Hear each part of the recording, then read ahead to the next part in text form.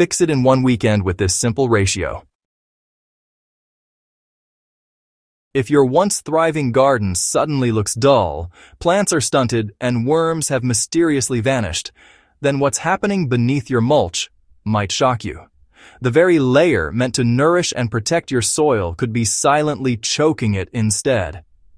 Stay with me, because in the next few minutes I'll show you exactly what this hidden soil killer is, the clear signs it's at work, and the step-by-step formula to fix it fast.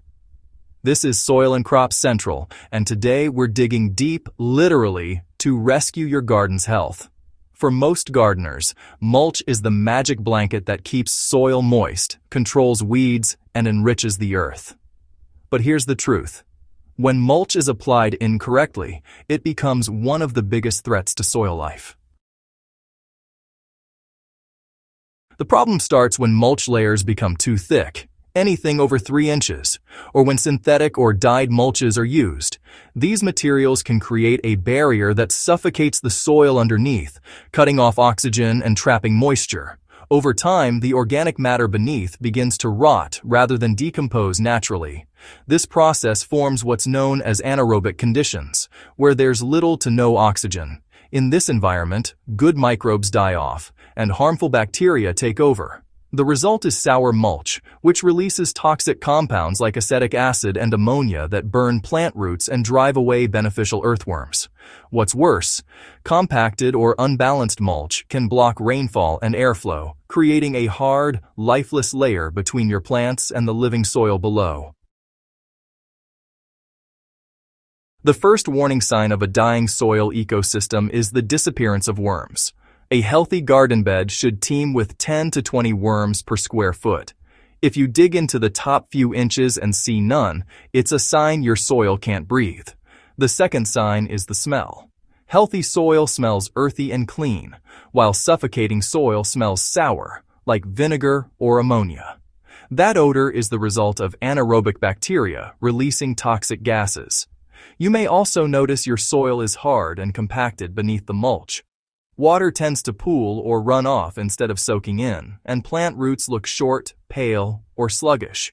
Even after fertilizing, plants struggle to take up nutrients because their root systems are trapped in a hostile environment. Mulch that's turning black, slimy, or moldy on the surface is another clear indicator that the layer is too thick or made from poor quality material. Let's restore your soil's health using a simple but powerful process. The good news is that once you open up your soil to air again and balance the right materials, nature does most of the recovery work for you. The first step is to remove the suffocating mulch. Grab a rake and take off about 2 to 3 inches of the top layer. You don't want to mix this damaged mulch back into your soil because it's already fermenting. Compost it separately, allowing it to break down fully before reuse. This exposes the soil beneath to fresh air and sunlight, helping to reset the balance. Next, aerate the soil. Using a garden fork or a hand aerator, gently loosen the top 6 to 8 inches of soil. Don't turn it over completely, just lift and let air in. This helps oxygen circulate and wakes up dormant microbes. If your soil smells sour, it means acidity has built up, so this step is crucial to let gases escape. Once aerated, it's time to reintroduce life. For every 10 square feet of garden bed, add 2 cups of rich compost and 1 cup of worm castings. These materials are loaded with beneficial microorganisms that rebuild soil structure and bring back your earthworm population. If the soil still smells acidic or looks blackened, sprinkle 1 tablespoon of garden lime over that same 10 square foot section to neutralize the pH. Then, gently mix everything into the top 3 inches of soil without compacting it again. Now that your soil is breathing again, you can reapply mulch, but this time in the correct ratio. Always use natural, untreated materials like shredded leaves, straw, or plain bark. For smaller beds under 50 square feet, apply a 2-inch layer, Medium-sized beds between 50 and 100 square feet should get 2.5 inches, and large garden areas over 100 square feet can safely handle a 3-inch maximum. Remember, more isn't better. Beyond 3 inches, you're cutting off airflow again. A good rule of thumb is one standard 3 cubic foot bag of mulch for every 100 square feet of garden bed. Spread it evenly, and make sure to leave about a 3-inch gap around each plant stem to prevent stem rot and pest buildup. Once applied, water the mulch layer lightly to help it settle and start the decomposition process naturally. For gardeners who want an extra boost, microbial compost tea can accelerate soil recovery dramatically. This is a living brew that feeds soil microbes and encourages explosive root growth.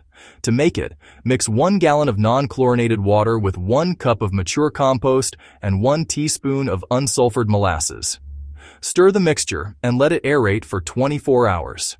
If you have an aquarium bubbler, even better, it helps oxygenate the brew. After a day, pour this microbial tea evenly over every 10 square feet of restored soil. The living organisms in the tea repopulate your garden with beneficial bacteria and fungi, jump-starting the soil food web. For best results, repeat this application every two weeks for the next month. You'll start noticing softer soil, improved drainage, and the return of earthworms in as little as 7 to 10 days. Maintaining healthy soil doesn't have to be complicated. Once you've corrected your mulch layers and rebuilt your soil life, a simple weekly inspection keeps everything in balance. Check that mulch depth stays under 3 inches and make sure it's never packed too tightly. Smell the soil often. Healthy earth always smells fresh and neutral. Watch for worm activity and ensure water absorbs evenly after watering or rainfall. Avoid walking on mulched areas to prevent compaction, and refresh your compost top-up every season to feed your soil continuously. The hidden soil killer under your mulch isn't a pest, a disease, or bad luck. It's a lack of oxygen. Thick, compacted, or poor quality mulch silently strangles the living network beneath your plants, driving away worms, microbes, and nutrients.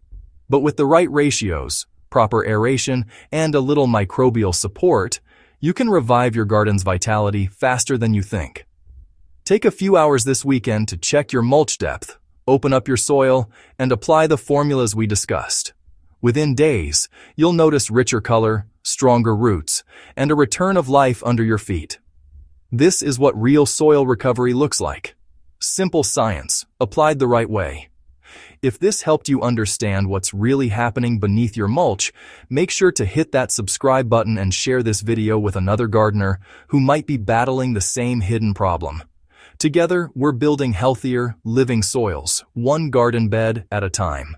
This is Soil and Crop Central, reminding you to feed your soil, not just your plants.